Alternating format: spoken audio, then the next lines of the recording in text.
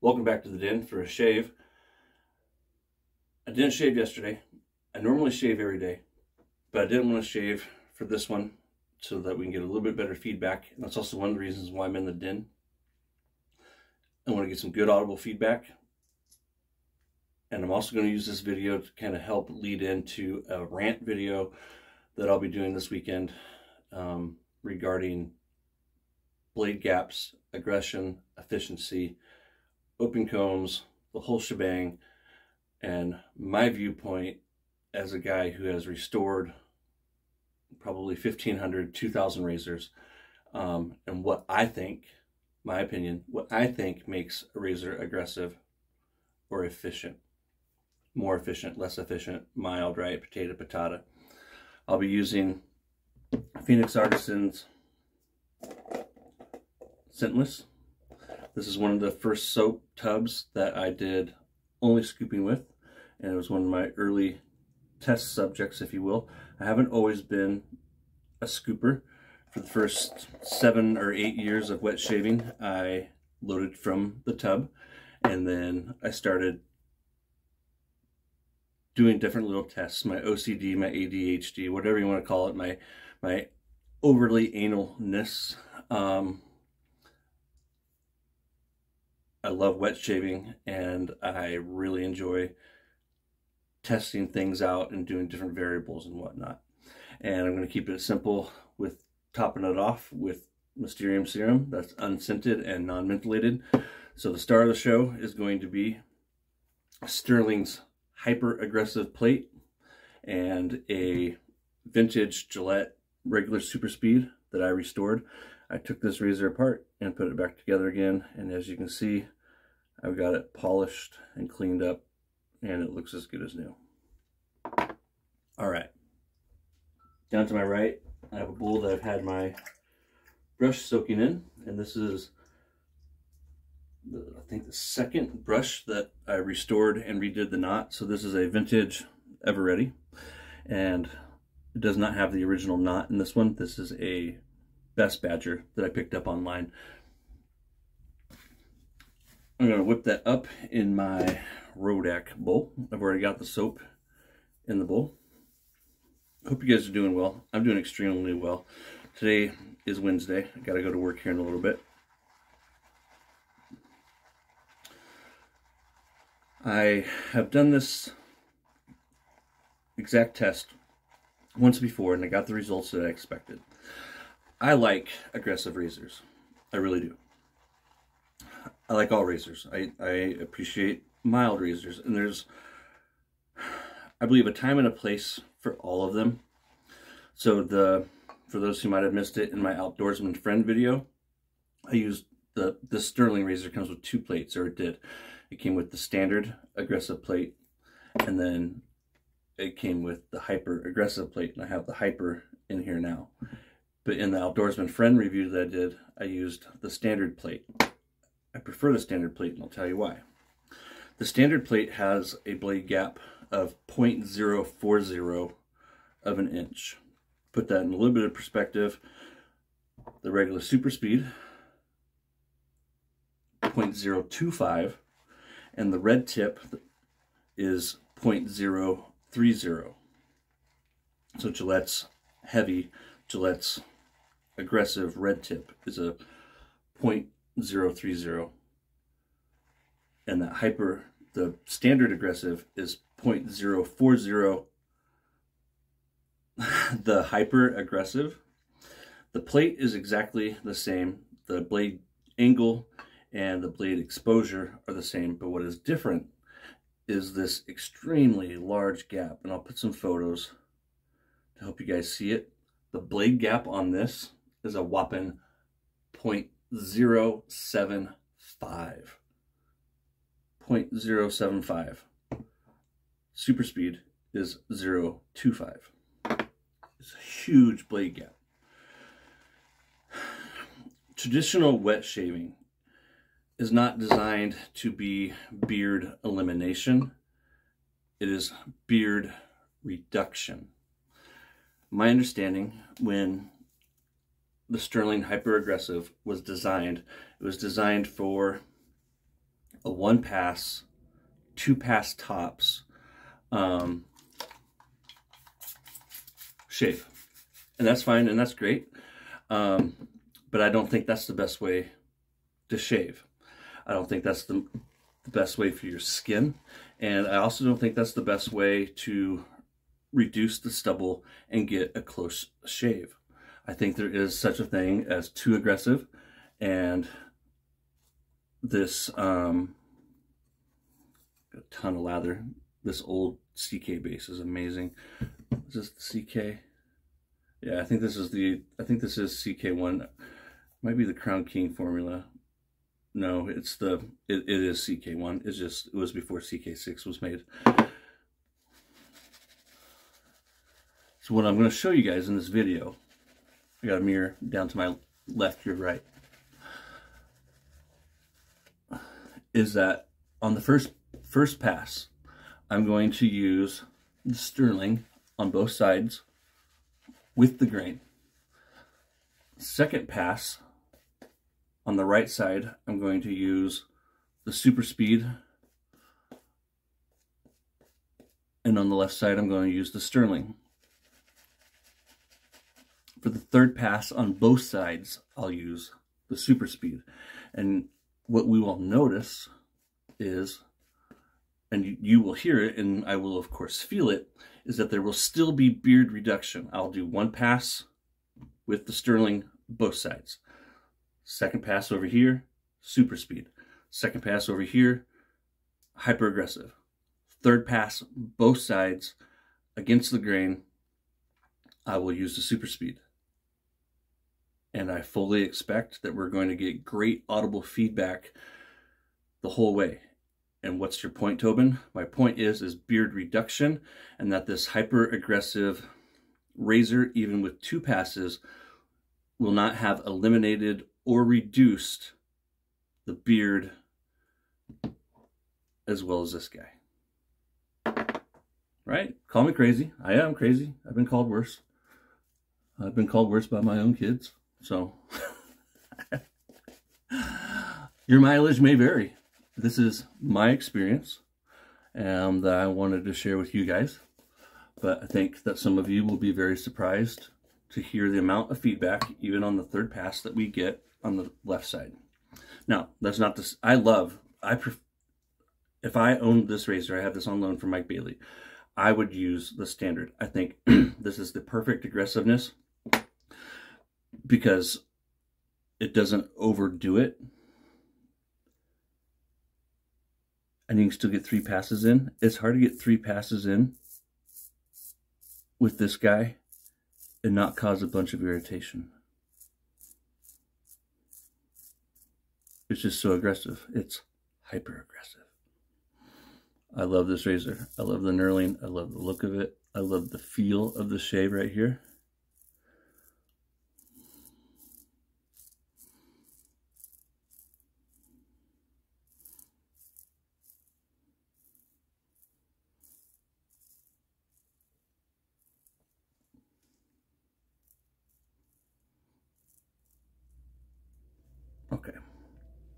So now we'll do this side with the hyper aggressive as well. It's the second pass where we're going to mix things up a little bit.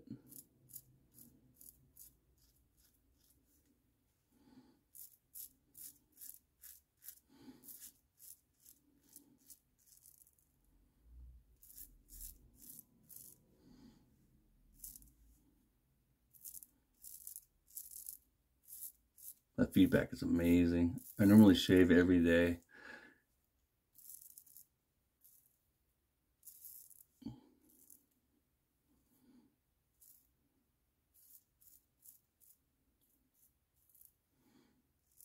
So quiet. I'm home alone. I have a rinse bowl down here to my right.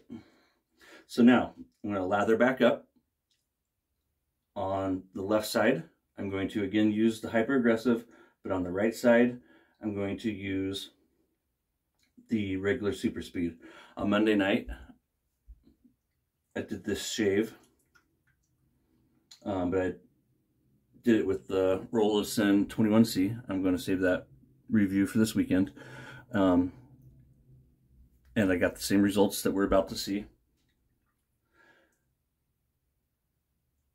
For that shave, I used two first use PermaShape, Perma, PermaSharp blades. I had the package somewhere.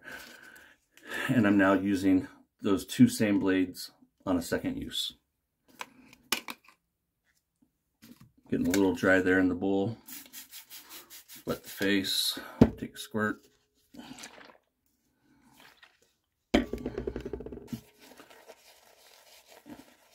I 110% believe in your mileage may vary, but at the same time, I also believe in the law of physics and math and you know that there are different things you know that we will all have different experiences. But i think there's some things that are just should be universal. Well that doesn't mean i'm right right? I'm just telling you what i think. Perception is reality and maybe that's just my perception I don't pretend to know it all, but I do like to think I have an understanding of how razors work. And I've been doing it long enough that I've, I've been paying attention. I should. Beautiful lather.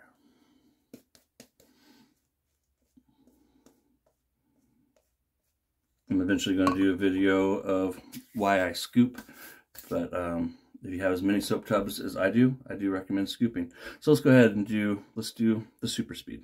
All right. Perfect blade alignment. All right.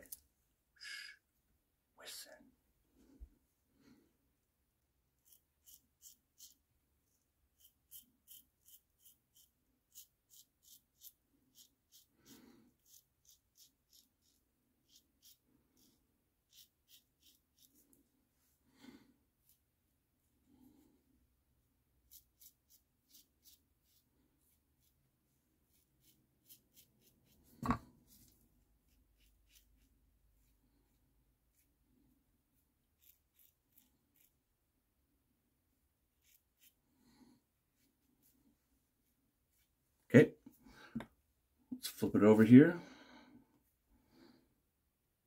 Now we're going to get more feedback here. Is also just a louder razor.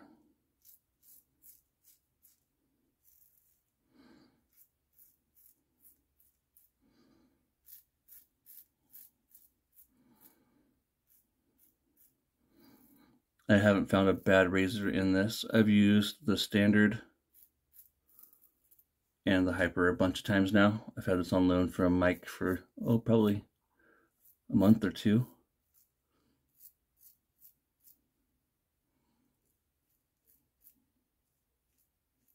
And it's a beast.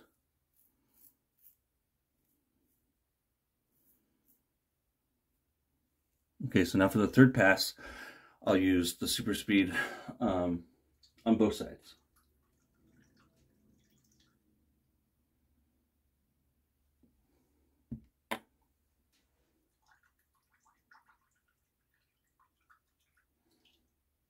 For a one pass shave, there's definitely not a better razor. I, I do recommend if you want a one pass shave, this hyper aggressive does fit the bill. It does exactly what it was designed to do. It gives you the most efficient shave possible with one pass.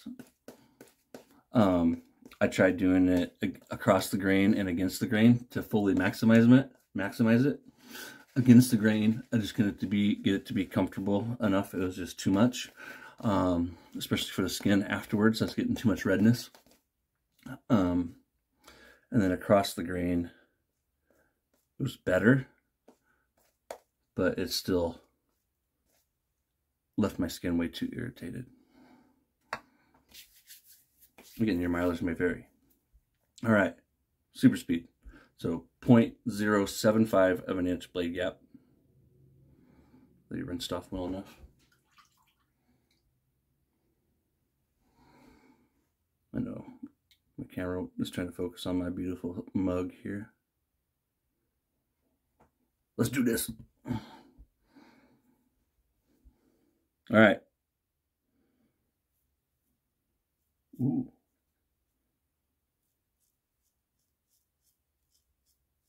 So it's still picking up some stubble.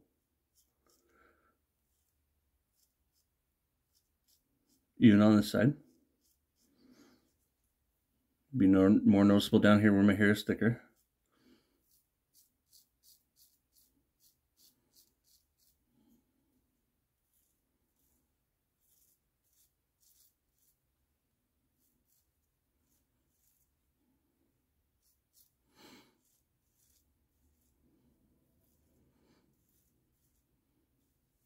So as you can see, we got a little bit of feedback.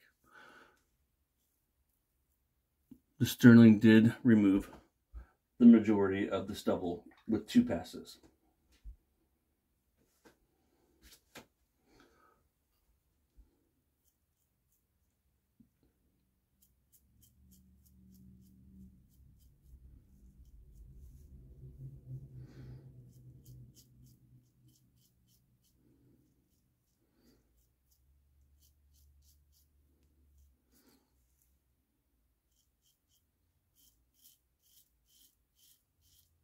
So you can really hear it. And it's with the one pass. As you see, I got myself in a couple spots. Not bad. Just a couple little weepers. Which is actually pretty good. Um, generally, I don't get myself. It's harder when I'm talking and doing the video. I've actually gotten it down to where I can get a nice, smooth, efficient shave without cutting myself open. So I still missed a little bit right here.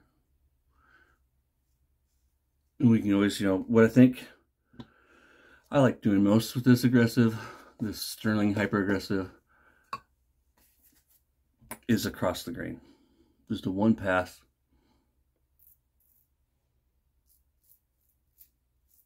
across the grain.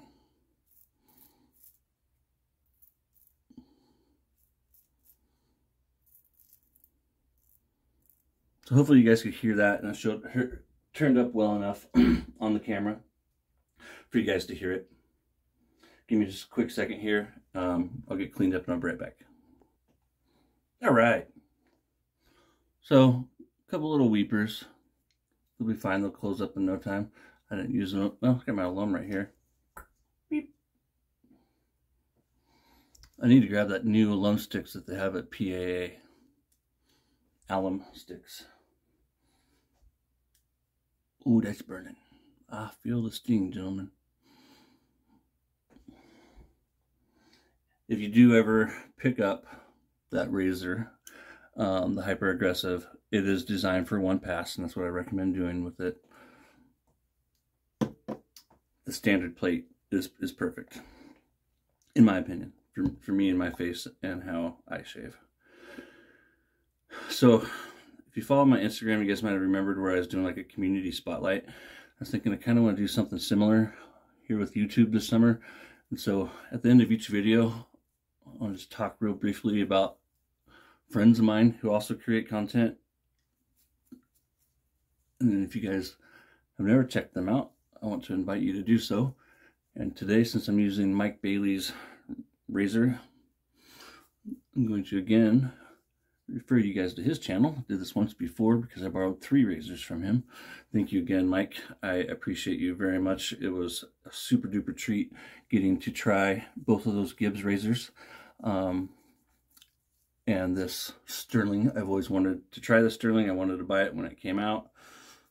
And then it went away. So having the opportunity to use it is a great blessing. Thank you, sir. I have thoroughly enjoyed playing uh, with these razors. Mike Bailey is the Bowtie RN. Damn good people, a fellow serviceman. Thank you once again, Michael, for your service. And he is a registered nurse, and he also does um, like how to tie bow tie type ties. I can do no bow ties, Windsor knots, and there's one other like traditional knot that I can do. Um, so if you're ever curious on how to do that, Mike's also a great resource for that. And he's damn good people. You can reach out to him and he'll help you share his wisdom and insights. Thank you, Michael. Bowtie RN. Check him out. Scentless. Scentless. Take care. Thanks for joining me in the den today. Uh, got a couple of reviews coming, and I will be doing a rant video all about open comb, angle, gap, and exposure, and my opinion on thoughts and thoughts and thoughts and thoughts. It's little big things. It really is. It's only shaving. Save the drama for your mama. Until next time, take care of yourself.